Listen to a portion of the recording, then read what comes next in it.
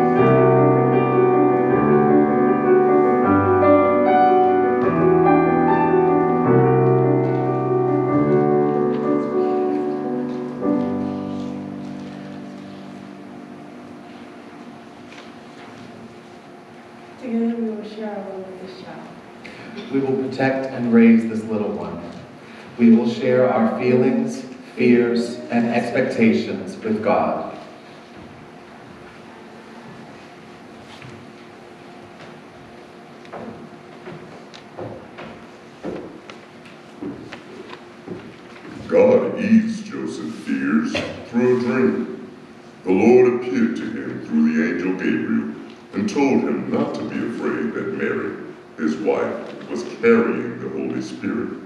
She will have a son, and he will be called Emmanuel, and he will save his people from their sins.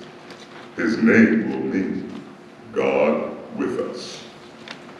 Mary, too, was visited by the angel Gabriel, and he told her not to be afraid, and that she had found favor with God. And behold, you will bring forth a son and call him Jesus. He will be great and will be called the Son of the Highest. And the Lord God will give him the throne of his father David. And he will reign over the house of Jacob forever, and of his kingdom there will be no end.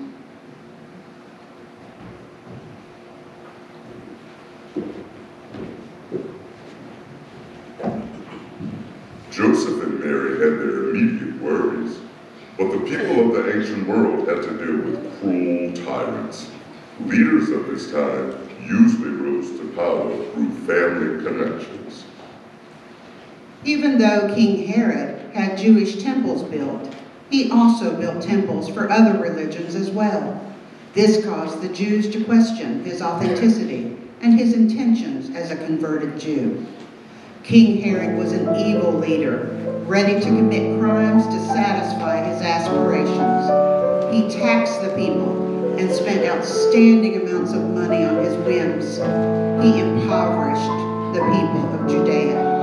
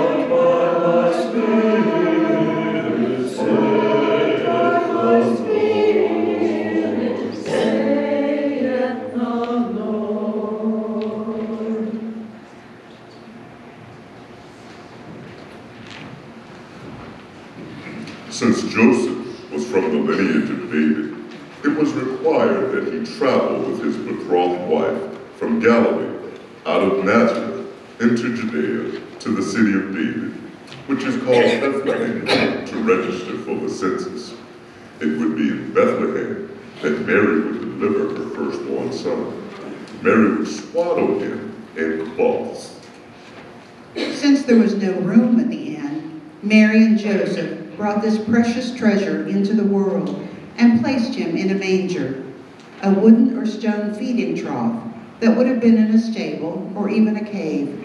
These troughs were for placing hay for large animals, like cattle, horses, and donkeys to feed. Mangers were well stocked with hay for animals to snack on at their leisure, so the hay would make a quick makeshift crib for their son. Mary needed a safe place for the baby, and the trough would be off the cold floor and more protected. There were large animals around the Christ child and his parents. As the animals go to the manger for food, so can we go to Jesus for spiritual nourishment.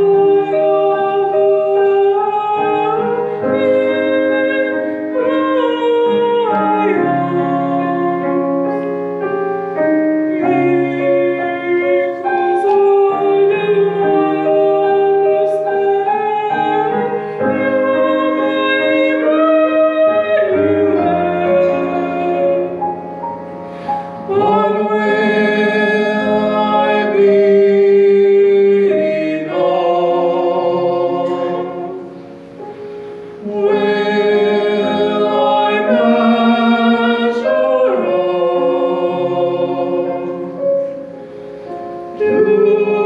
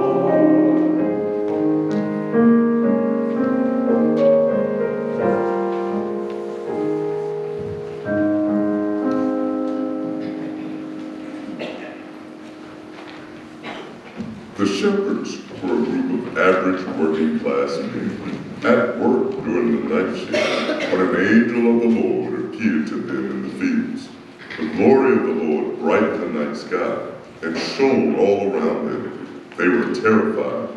Gabriel said to them, Do not be afraid. I bring you good news of great joy for all people. Today, in the town of David, a Savior has been born to you. He is Christ the Lord. Look for a baby wrapped in cloths and lying in a manger. This will be your sign that you have found this precious gift to the world. Then, to their surprise, a great company of heavenly hosts joined the angel, praising God and saying, Glory to God in the highest, and on earth, peace to men on whom his favor rests.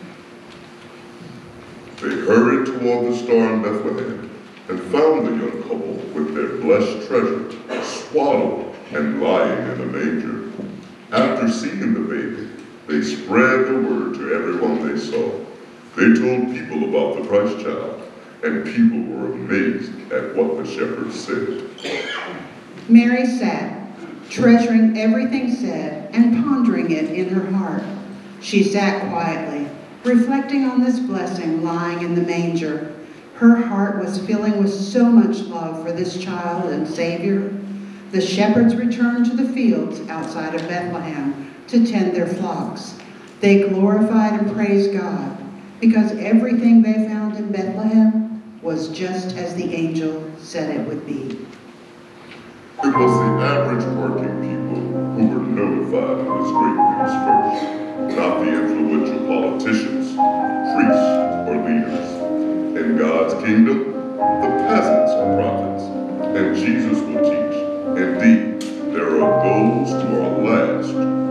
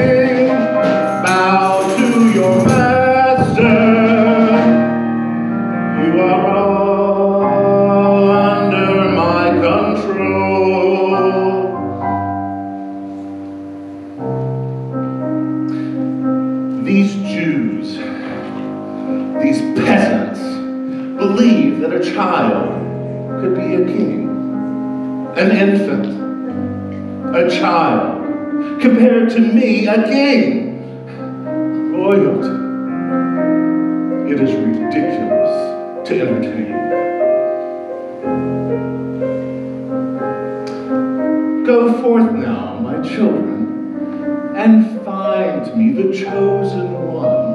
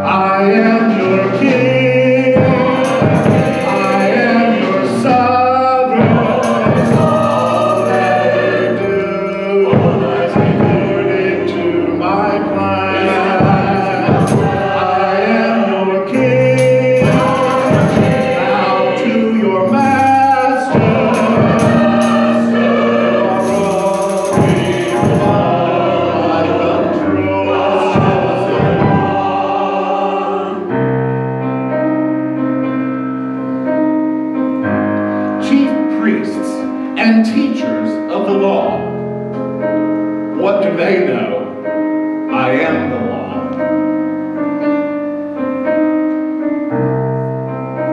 A prophecy of a shepherd as a ruler. How can that be?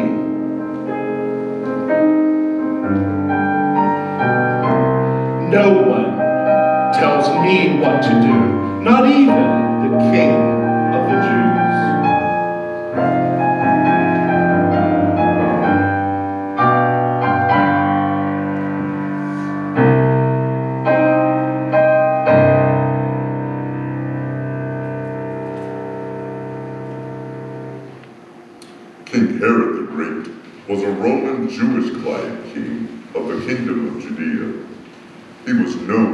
constructing the second temple and the Wailing Wall. As he got older and more powerful, he became afraid of someone trying to kill him and take his position. Since he had converted to Judaism and was the Roman choice of a king of Judea over the Jews, he was paranoid that others were after his position. He was so obsessed with his position that he killed three of his sons, fearing that they wanted to take his job. Joseph and Mary had to be worried about bringing a child into the world with a leader like King Herod around. Herod was afraid that this tiny baby would one day take his position as king. He was a leader who used fear and annihilation to rule the people. He was known for his great architecture, but he placed a giant golden eagle in front of the second temple. To the Jews, this eagle stood as an idol of the Roman Empire. Even though Herod tried to convert to Judaism, he was very insensitive to the Jews. He even wanted a large crowd of distinguished men to be murdered when he died to make it look as though they were so grieved of the mighty king. His sister did not carry out his wishes.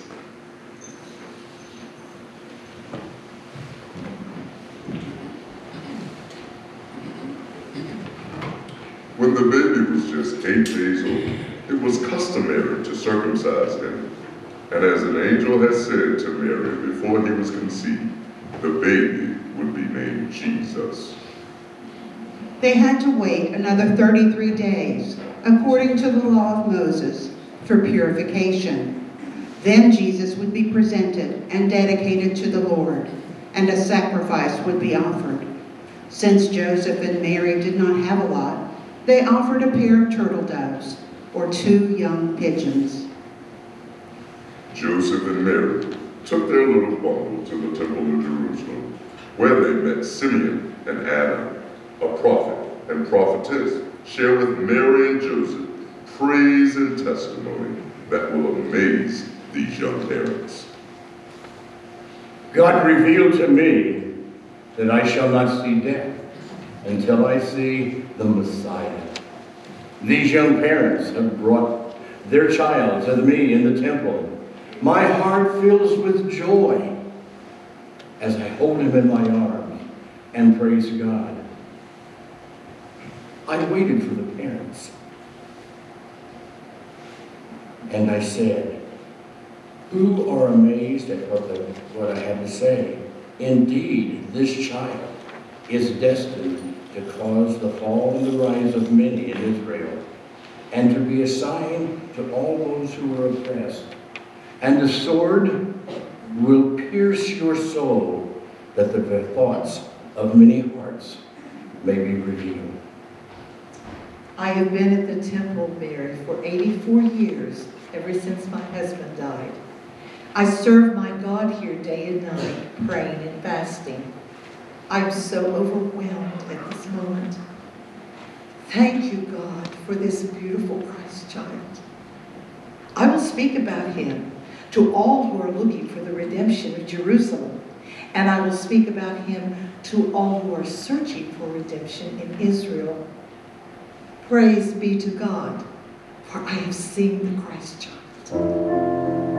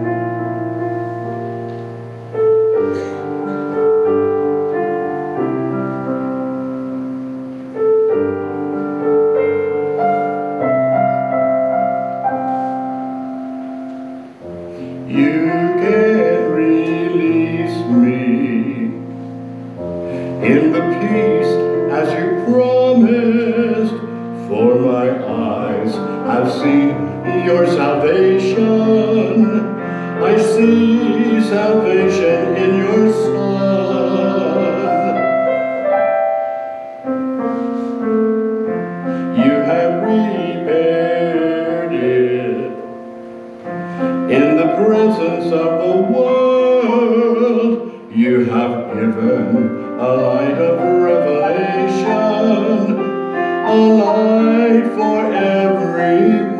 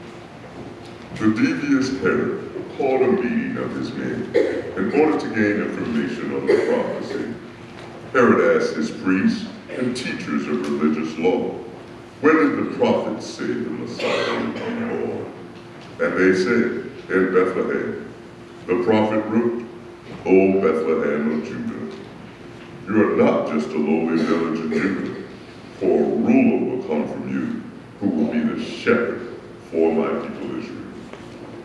The Magi traveled from the Far East, most likely from Persia. These men were priests who studied the stars. These men probably traveled with a large entourage of people following the star.